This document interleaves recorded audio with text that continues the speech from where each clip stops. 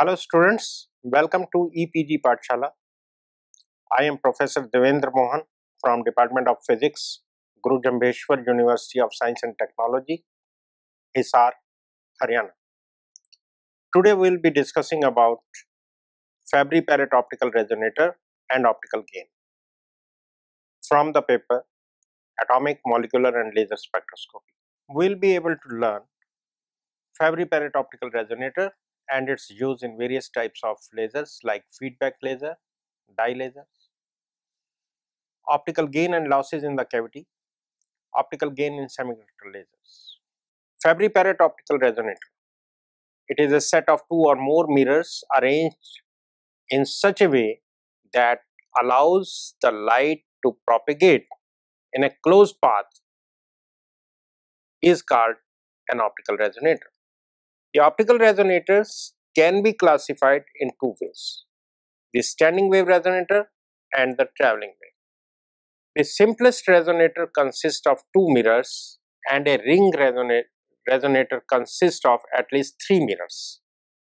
A mirror is characterized by its amplitude reflection coefficient R and its transmission coefficient T. A Fabry-Perot resonator is a linear optical resonator that consists of two highly reflecting mirrors with small transmission, the transmission through which it resonator exhibits sharp resonances. The incoming light makes multiple round trip within this cavity and suffering partly to each reflection. Different outgoing light rays interfere with each other and giving rise to an interference pattern of multiple waves consisting of concentric rings. The varying transmission function of a resonator is caused by interference between the multiple reflections of light between the two reflecting surfaces. Constructive interference occurs if the transmitted beams are in phase and this corresponds to a high transmission peak of the resonator.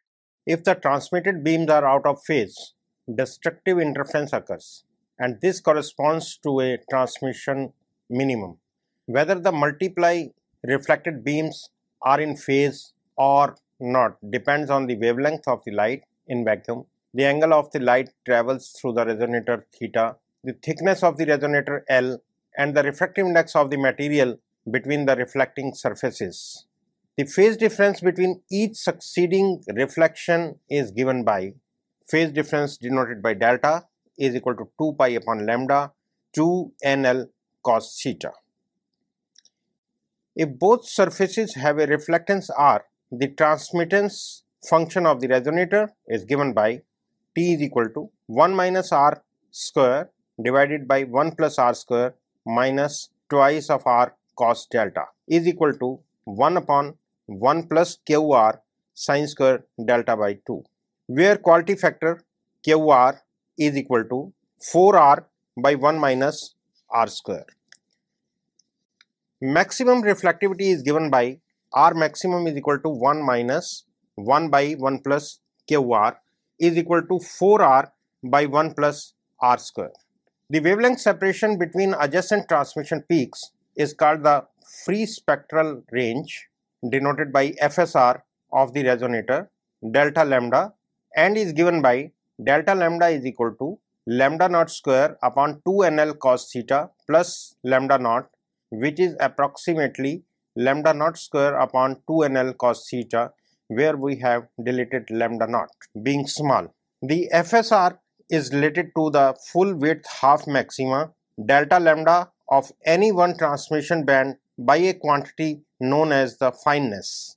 Fineness of the cavity is very important and it is defined as delta lambda upon delta lambda. The denominator delta is different from the numerator delta which is equal to pi upon 2 AR arc sine of 1 by QR under the root.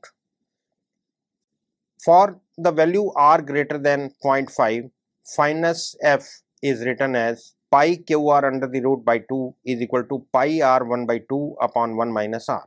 Reflectance of the mirror is C is equal to 1 plus r square by 1 minus r square which is approximately 4r by 1 minus r square and C is equal to 1 plus 2f pi whole square. Distributed feedback lasers. In lasers with Fabry-Perot type of optical resonators, the feedback is provided by reflection at the end mirrors.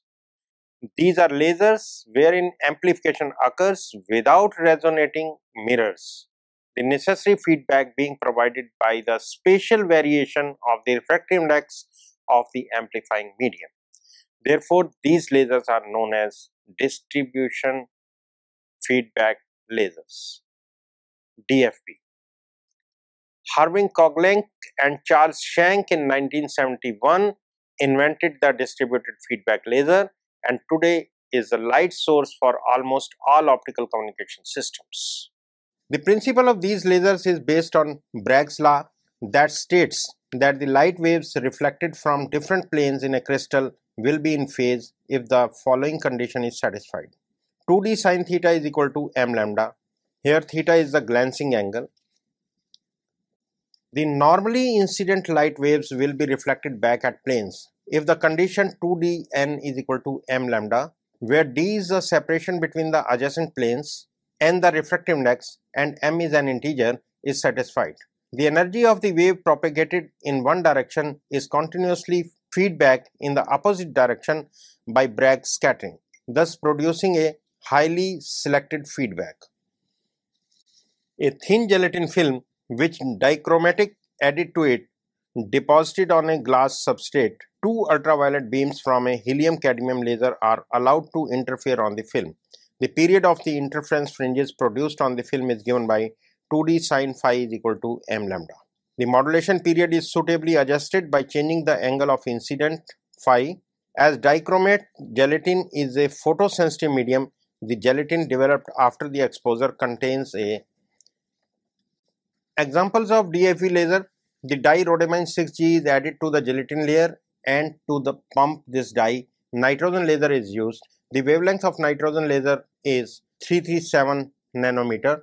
The laser output of wavelength 0.63 micrometer is obtained.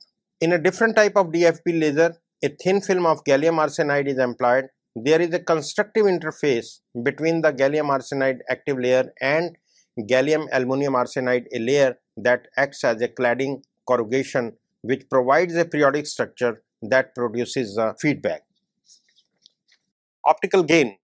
It is understood that the radiation is reflected back and forth between the mirrors of cavity and there is a loss of intensity as the mirror transmit 1% of incident radiation. There are chances of misaligned mirrors that may cause light to pass out the sides of cavity after multiple reflections.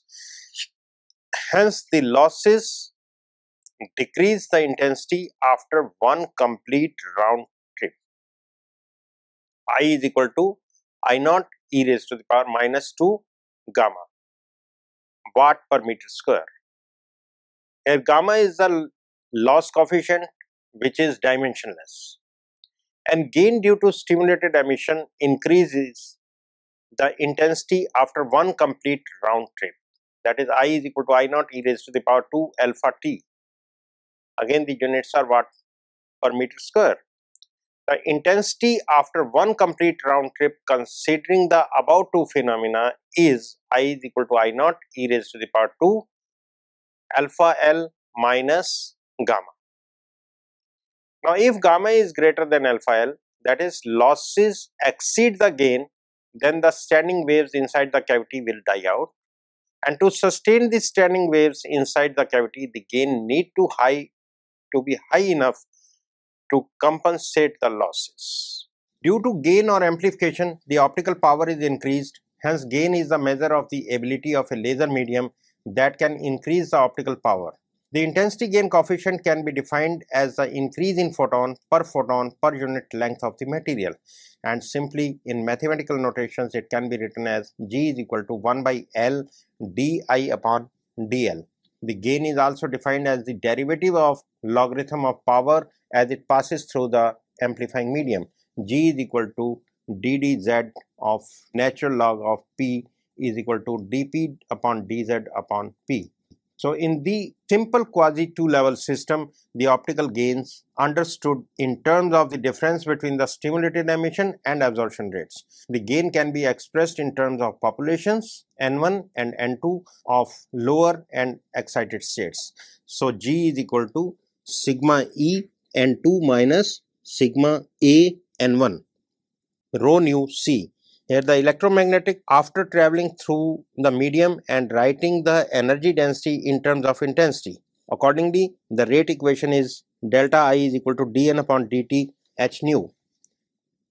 Further, stimulated emission absorption plus spontaneous emission gives us to write delta I nu is equal to B21 I upon C G nu N2 delta z h nu minus b21 g2 upon g1 1 upon c g nu n1 delta z dot h nu plus b21 1 by 2 g nu n2 delta z difference of phase divided by 4 pi. The first term corresponds to stimulated emission, the second corresponds to absorption and the third one is added due to spontaneous emission and the factor half has come in the spontaneous emission term due to polarization of spontaneous photons. The spontaneous contributions can be reduced by selecting narrow frequency that is by making the solid angle beam very small and also by making L very large. The rate equation then reduces to delta I is equal to h nu upon c b21 n2 minus g2 upon g1 n2 g nu i delta z. Putting the values of b21 in terms of a21 and lambda is equal to cn upon nu delta i upon delta z becomes equal to di upon dz under the limits a21 upon 8 pi and b pi n square lambda square g nu n2 minus g2 upon g1 n1 into i. Now because of the population inversion and to obtain the gain n2 has to be greater than g2 upon g1 into n1 therefore iz is equal to i naught exponential factor g naught nu z. So one can write sigma is equal to a21 lambda square upon 8 pi n square and g nu. Optical gain in semiconductor, semiconductor laser. Optical gain is due to stimulated emission associated with light emission created by recombination of electron hole pairs. It should be noted that in other laser materials like gas or solid state laser, the processes associated with optical gain are simple and becomes complex in semiconductor because it involves interacting photons, electrons and holes dealt by many body problems. Optical gain in semiconductor is due to photon induced transitions of electrons from the conduction band to the valence band. Fermi's golden rule characterizes electron photon interactions in the crystal. So we need to write the transition rate for a single pair of conduction and valence band states. Fermi's golden rule assumes that the electron initially occupies a single state that makes a transition to one of a large number of final states. The difference between the initial and final energy of the electron must be equal to the energy of the photon that induces the transition. Each downward transition generates a new photon while upward transition absorbs one photon. If the number of downward transition per seconds exceeds the number of upward transition, there will be a net generation of photons and optical gain can be achieved. Optical gain in the material is attained when we inject a carrier density beyond such that the quasi-Fermi levels are separated by energy greater than the band gap. Dye laser. A dye laser is a laser that uses an organic dye as the amplifying medium, wherein the dye is dissolved in a suitable liquid solution like ethyl alcohol, methyl alcohol or acetone or toluene, water we need to check the solution for a dye. A dye laser is to be used for much wider range of wavelengths spanning 50 to 100 nanometers. That is why these are called tunable lasers. So far dye laser available with us in the visible region from 400 to 700 nanometers.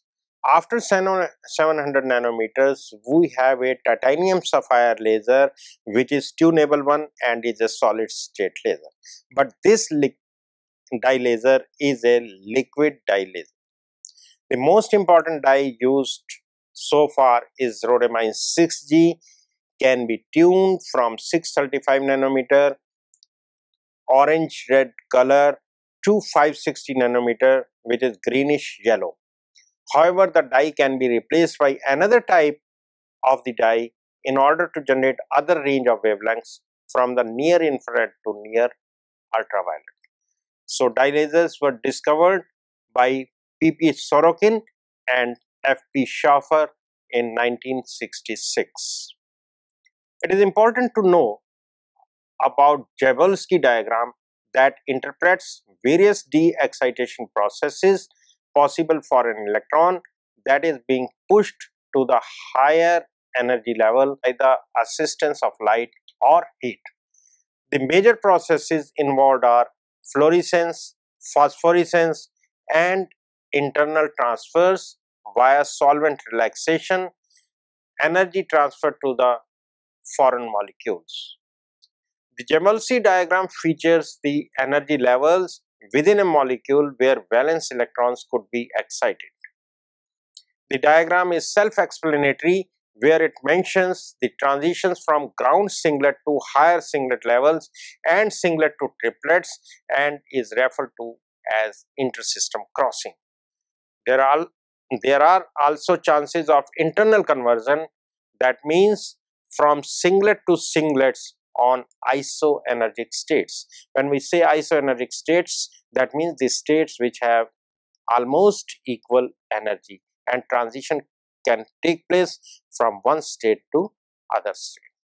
Dye laser. A dye laser is a laser that uses an organic dye as the amplifying medium wherein the dye is dissolved in a suitable liquid solution like ethyl alcohol, methyl alcohol, acetone, water or toluene. One need to check the solubility of the dye and select the solvent accordingly. A dye laser is a tunable laser and is to be used for much wider range of wavelength spanning 50 to 100 nanometers. This is why these are called tunable lasers. So far, the only tunable laser is the dye laser in visible region. But where the wavelength of the laser, particularly this dye laser, stops, another solid state tunable laser, titanium sapphire laser is available. So in visible region, only the dye laser, tunable laser is available. The most important dye, rhodamine 6G, can be tuned from 635 nanometer, which is a wavelength color orangish red to 560 nanometer greenish yellow. However, the dye can be replaced by another dye in order to generate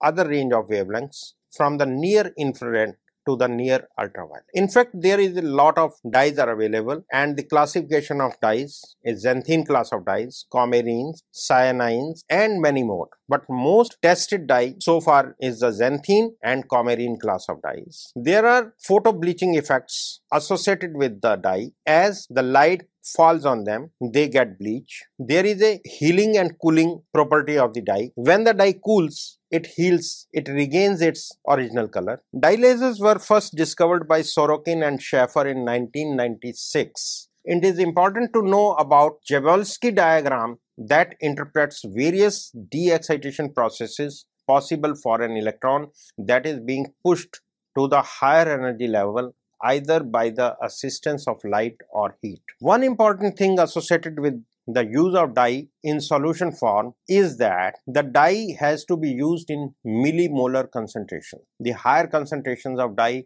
are not going to give any lasing effect. The major processes involved are fluorescence, phosphorescence, internal transfers via solvent relaxation, energy transfer to the foreign molecule. The figure is a famous Jablonski diagram which otherwise is self-explanatory but one can see the singlets and triplet state of the molecule. There is internal conversion or inter-system crossing. When the transition take place from one singlet form to the other singlet, then there is internal conversion. And if the transition take place from singlet to triplet, then it is called inter-system crossing. Although there are internal conversion in triplet excited states, but they can be neglected because before the building up of triplet states, the transition takes place. The Jablonski diagram features the energy levels within a molecule where valence electrons could be excited. It mentions the transitions from ground singlet to higher singlet levels and singlet to triplets and we had already discussed internal conversion that is from singlet to singlets on isoenergic states and singlet to triplets as inter-system crossing. The beauty of the dye laser is that the liquid dyes have an extremely high lasing threshold and flash lamp pumped lasers need a flash with an extremely short duration to deliver the large amounts of energy necessary to bring the dye past threshold before triplet absorption overcomes singlet emission. It is important to keep the triplets away from the participation in the emission of laser. The liquid dyes have very high gain as laser media. The high gain also leads to high losses because of the reflection from the dye cell walls and hence will reduce the amount of energy available to the beam. Chemicals and organic dyes Rhodamine 6G in chloride form mixed with methanol emits yellow light under the influence of a green laser. Green laser means we will be using exciting this dye with ND-YAG laser, second harmonic, 532 nanometers.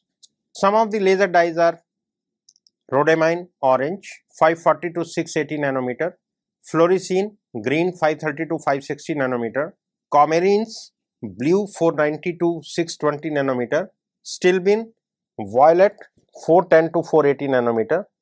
These are the dyes commonly used in dye lasers.